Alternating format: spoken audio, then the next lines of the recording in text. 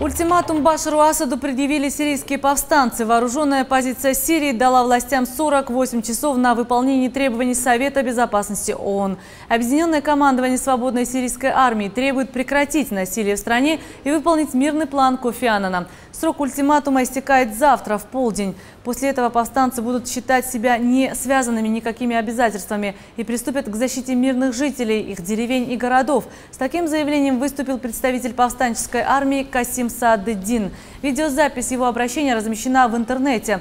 Этот ультиматум стал ответом на трагедию в городе Хула. На прошлой неделе там погибли более ста человек, в том числе женщины и дети.